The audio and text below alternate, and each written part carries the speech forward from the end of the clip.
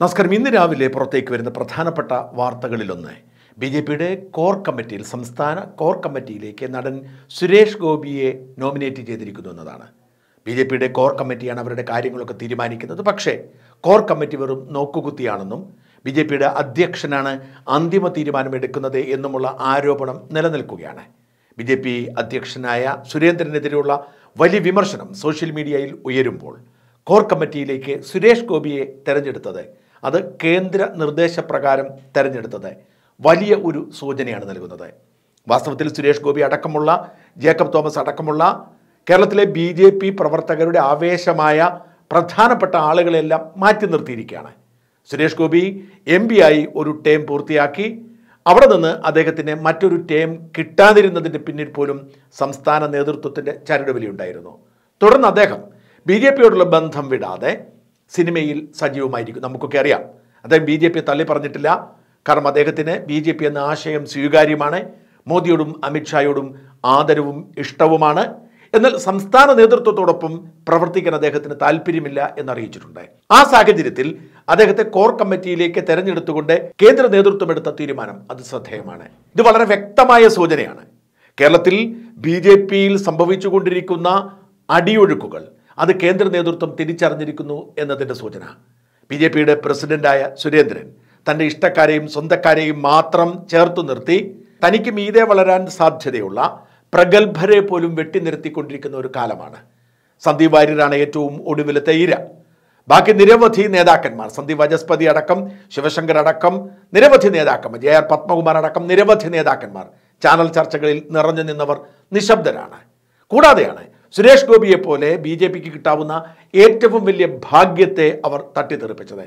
സുരേഷ് ഗോപി അതുകൊണ്ട് കൈനിറയെ സിനിമയുമായി വീണ്ടും ഫീൽഡിലേക്ക് ഇറങ്ങിയിരിക്കുന്നു. നീണ്ട ഒരു ഇടവേളയ്ക്ക് ശേഷം സുരേഷ് ഗോപിക്ക് ആവശ്യത്തിലധികം സിനിമയാണ്. ഈ പശ്ചാത്തലത്തിൽ സുരേഷ് ഗോപിയെ കോർ കമ്മിറ്റിയിലേക്ക് കൊണ്ടുവരുന്നത് കേന്ദ്ര നേതൃത്വത്തിന്റെ ശക്തമായ ഇടപെടലാണ്. കേരളത്തിൽ ബി അവസ്ഥ ശരിയല്ല.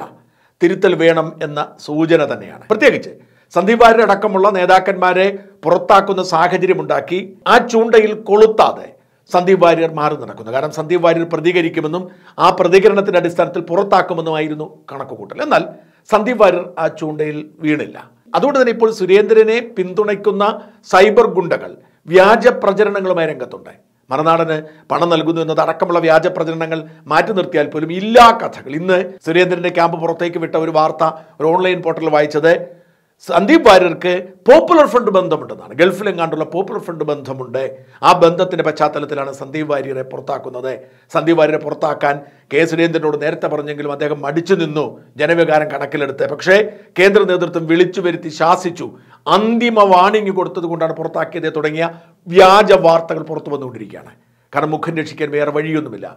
ബി ജെ പി അണികൾ ഒന്നടങ്കം സന്ദീപ് വാര്യർക്ക് അനുകൂലമായി സുരേന്ദ്രനെതിരായി നിന്നപ്പോൾ നുണ പറഞ്ഞ് സാഹചര്യത്തിൽ മാറ്റമുണ്ടാക്കാനുള്ള ശ്രമമാണ് സുരേന്ദ്രൻ ക്യാമ്പ് നടത്തുന്നത്. അതിനിടയിലാണ് സുരേഷ് ഗോപിയെ കോർ കമ്മിറ്റിയിലേക്ക് കൊണ്ടുവരുന്നത്. സുരേഷ് ഗോപിയെ പോലെ ഒരാൾ കോർ കമ്മിറ്റിയിലുണ്ടെങ്കിൽ സുരേന്ദ്രന് തനിക്ക് ഇഷ്ടമുള്ളത് പറഞ്ഞ് നടപ്പിലാക്കാൻ സാധിക്കില്ല. അതുകൊണ്ട് തന്നെ പറയുന്നത് ഒരു സൂചനയാണ്. സൂചന മാത്രമാണ്. വരാൻ പോകുന്ന മാറ്റത്തിന്റെ സൂചന. പ്രകാശ് ജാവേഡ്കറെ ഇങ്ങോട്ട് അയച്ചത് കേരളത്തിലെ ബി ജെ പിയെ രക്ഷപ്പെടുത്താനുള്ള അവസാനത്തെ വഴി എന്ന നിലയിലാണ്. ജാവേഡ്കറെ സാക്ഷിയാക്കിക്കൊണ്ട് കാട്ടിക്കുട്ടിയ വൃത്തികേടുകൾ ജാവേഡ്കർ കൃത്യമായി തിരിച്ചറിഞ്ഞിരിക്കുന്നു. സന്ദീപ് വാര്യരെ വിളിച്ചു വരുത്തി വിശദമായി സംസാരിച്ച് ജാവേഡ്കർ കാര്യങ്ങൾ മനസ്സിലാക്കിയിരിക്കുന്നു. മാത്രമല്ല ബി ജെ പിയിൽ ഇവിടെ നടക്കുന്ന കാര്യങ്ങൾ ഡൽഹി നേതൃത്വത്തെ വിശദീകരിച്ചു കൊടുക്കാൻ മറ്റു ചില സംവിധാനങ്ങളുമുണ്ട്. സുരേന്ദ്രൻ ഗ്രൂപ്പ് കളിച്ച് ബി ജെ പി ഇല്ലാതാക്കുകയാണ് തിരിച്ചറിഞ്ഞ്. അതിനൊരു പരിഷ്കാരം വരുത്തുന്നതിന്റെ തുടക്കമായാണ് സുരേഷ് ഗോപിയെ കോർ കമ്മിറ്റിയിലേക്ക് എടുത്തിരിക്കുന്നത്. മാത്രമല്ല നിരവധി മാറ്റങ്ങൾ അഴിച്ചുപണികൾ ഈ നാളുകളിൽ ഉണ്ടായേക്കാം.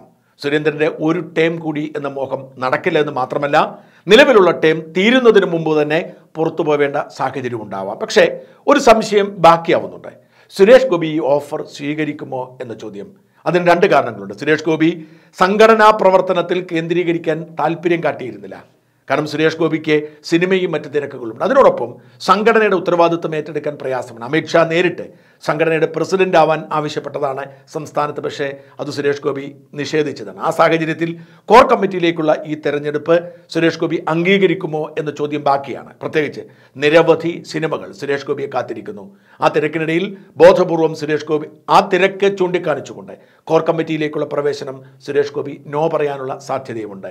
മാത്രമല്ല സുരേന്ദ്രൻ പ്രസിഡന്റ് ആയിരിക്കുന്ന ഒരു കമ്മിറ്റിയിൽ വന്നിരിക്കാൻ സുരേഷ് ഗോപി ആഗ്രഹിക്കുന്നില്ല എന്നതാണ് യാഥാർത്ഥ്യം. എന്തായാലും ഇതൊരു മുന്നറിയിപ്പാണ് കൃത്യമായി താക്കീതാണ്. സുരേന്ദ്രൻ ബി ജെ പി പ്രവർത്തകരെ നിരാശപ്പെടുത്തിക്കൊണ്ട്. ബി ജെ പിയെ തകർച്ചയിലേക്ക് തള്ളിവിടുന്നതിന് അറുതി കുറിക്കാൻ കേന്ദ്ര നേതൃത്വം ഇടപെടുന്നു ഇറങ്ങി വരുന്നു എന്നതിന്റെ സൂചനയാണ് സുരേഷ് ഗോപിയുടെ നിയമനം. ഒരു സൂചന മാത്രം. ഇതിനേക്കാൾ വലിയ സൂചനകൾ വരും ദിവസങ്ങളിൽ ഉണ്ടാവാം. സുരേന്ദ്രന് ബി ജെ പിയുടെ സംസ്ഥാന അധ്യക്ഷ പദവിയിൽ അധികകാലം ഇനി വാടാനാവില്ല എന്നത് പ്രതീക്ഷയോടെ ആവേശത്തോടെയാണ് ബി പ്രവർത്തകർ കാണുന്നത്.